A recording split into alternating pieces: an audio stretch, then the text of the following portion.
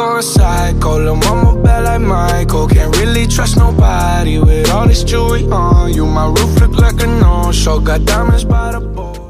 Guys, what is up? Welcome back to my channel or welcome to my channel. If you're new, my name is Kaice and if you are new here, I would love for you to take one quick second, go down below and hit that subscribe button and click the little bell button so you'll never miss when I post a new video. Today I'm finally going to be showing you guys my everyday makeup routine. I will say that most of my products are high-end products just because I'm just kind of bougie. but just know that you don't have to use these exact products. These are just the products that I used and the order that I use them and the products that I love. Let's go ahead and jump right into it. Okay, so I have already filled in my brows. I have to do my brows off camera just because they take so much time and effort. But I do have a very, very old brow routine on my channel that I still use these same exact products and the same exact technique. I just used my Benefit Goof Proof Brow Pencil and my MAC Veluxe Brow Liner. And then I just cleaned them up with my MAC NC45 Studio Finish Concealer. Very quick and very simple, just very hard to film. so for primers, actually like to use two primers. I like to use this Giorgio Armani Fluid Master Primer as well as this Murad SPF Primer. These are both very pricey primers, but they work so well together. They make my skin feel so nice and smooth. Plus, I have to use SPF during the day because I use a retinol cream at night. They also help to really smooth my pores and to help prevent oil production as well. Skin prep is super, super, super important to me because I don't really do a lot of crazy eye looks. I really like to focus on making my skin look as perfect as possible. So my all-time favorite foundation that matches my skin perfectly, that keeps my makeup on fleek all day, is the Estee Lauder Double Wear Stay in Place Makeup Foundation and I am in the shade Sandalwood. And I like to mix this with my Dior Skin Nude Air Luminizer. This is basically kind of like a fluid highlighter. It just helps to add some extra glow to the foundation and it makes my skin look so good. So I just take the foundation, I put it on the back of my hand.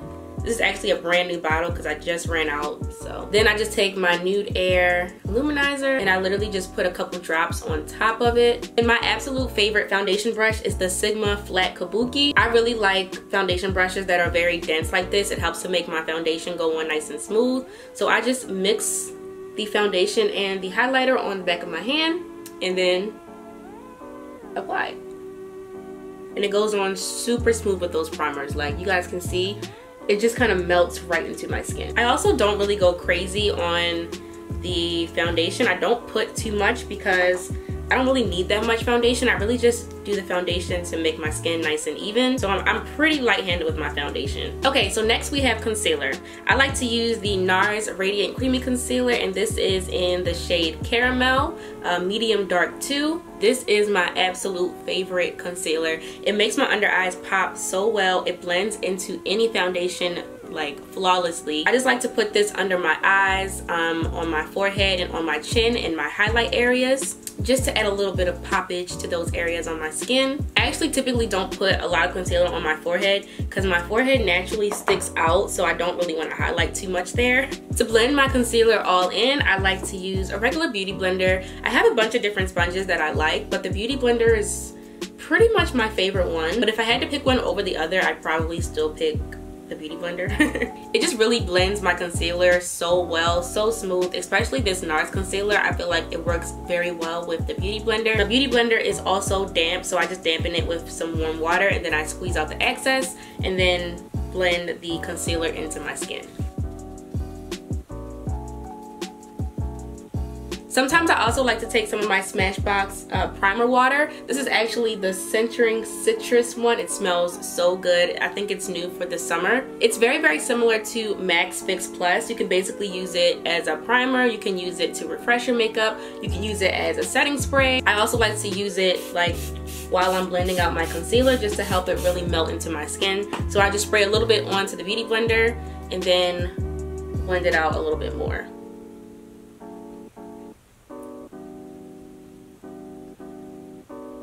So next to contour my face, um, I typically go back and forth between the Sephora Make No Mistake foundation um, and concealer stick.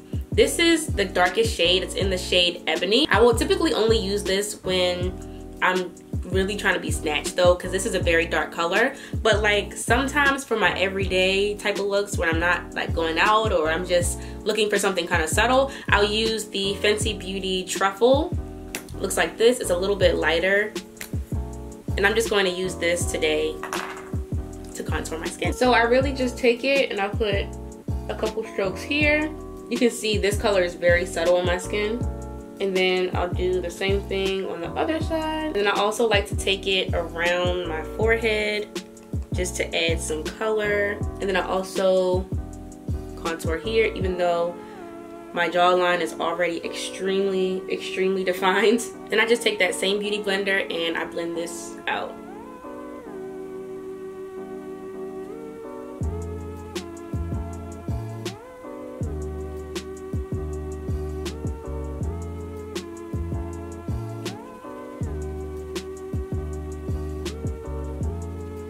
Okay, so next to set my under eye, I like to use either my Laura Mercier Translucent in the shade Deep or I use my Laura Mercier Translucent in the regular translucent color. It pretty much just depends on if I want a really nice highlight under my eyes or if I just want a nice subtle highlight. Today I think I'm gonna just go ahead and bake with the translucent one that's a little bit brighter. I'm literally almost out of this as you can see and the top is broken. this is so old. I basically just take the beauty blender, I dip it into the powder and then I apply it under my eyes. I don't really bake, I just kind of press it into my skin and I allow it to sit for maybe two or three minutes and then you'll see what I do next where I wipe away the excess with another powder. My favorite bronzer of all time is the Bobbi Brown bronzer in the shade Deep 4. I've been using this for so long and I just like to use my Real Techniques powder brush, just swirl it around like this, tap off some excess and then I really just bronze the same areas that I contoured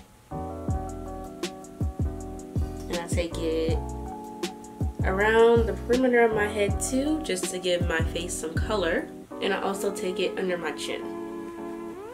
So after bronzing up my skin, I like to go in with one of my holy grail powders. This is the Sephora Micro Smooth powder in the color Deep 60. And I like to use this basically just to wipe away the excess powder under my eyes and also to just kind of blend everything together. This powder makes my skin look so nice and smooth. I actually um, found out about it through Alissa Ashley. She uses it to set her foundation all the time and to like wipe away extra translucent powder. And I can definitely say I love it. It looks amazing in pictures too, like no flashback. So to highlight, I have been loving the Amrezy highlighter by Anastasia Beverly Hills. I believe it's in the shade it doesn't even have a shade, I don't think. It's just the Amrezy highlighter. It is super, super smooth. It feels almost like a butter when you touch it with the brush. I just like to apply it with my Sigma tapered highlighter brush. And I just apply it to the high points of my face. I'll take some down the bridge of my nose and also a little bit on my cupid's bow. Next for blush, I like to use this NARS Unfiltered 1 palette. I think that this was actually a limited edition palette. I got it at Nordstrom a little while ago. But I love, love, love, love, love this palette. It has such a variety of colors. Actually, NARS has some of the best blushes ever. And I just like to mix these two colors. First and out here. I also actually don't apply the blush directly to my cheek. I like to apply it a little bit higher because my cheekbones are pretty high. So I kind of just blend the blush kind of into the highlighter a little bit. So next for my eyes, I rarely wear eyeshadow. I don't know if you guys have ever noticed this, but I literally rarely wear eyeshadow. I don't know why, I just don't really like the way it looks on my eyes because my eyes are so big it kind of closes them a little bit but I like them to look more wide and open sometimes just to add some depth to my crease I will go in with just like a light brown color like this one this is from the NARS loaded palette I believe it's the color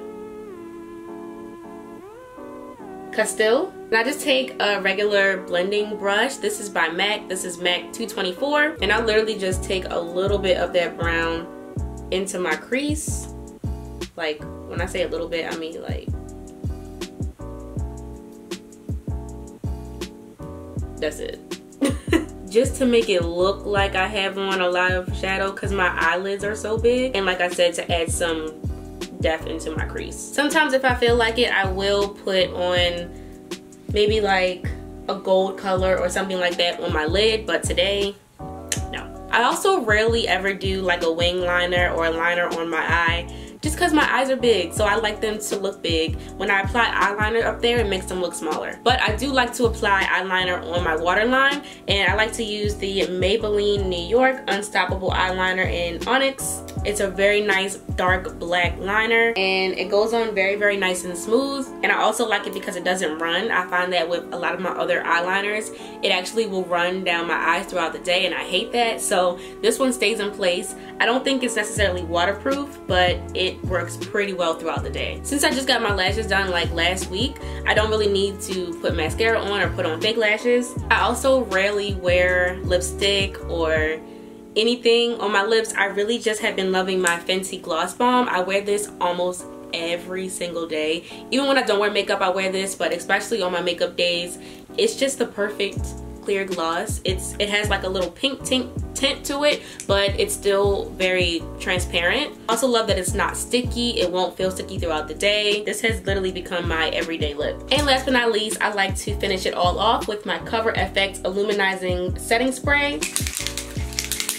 I love this setting spray so much. I feel like it really just helps to add that extra glow to my skin. I also really love the pump. I feel like it disperses so well. I feel like it also helps to make my makeup last longer too. So that is pretty much it for my everyday makeup routine. As you guys can see, I pretty much just do what I need to do to enhance my natural features. I don't really put a lot on. One thing I will say about perfecting your everyday makeup routine, it's really important to customize it to yourself. So I wouldn't necessarily watch YouTube videos trying to copy someone's exact face routine. You have to practice on yourself and figure out what it is that you like on yourself. Everybody's perfect makeup routine is different depending on your facial features, depending on your skin type, and it's really important to understand that. So hopefully you guys enjoyed this video. If you did, please give it a thumbs up. Those really help me out. Don't forget to subscribe to my channel if you haven't already, and of course follow me on my social media. And hopefully I will see you guys all in my next video. Bye.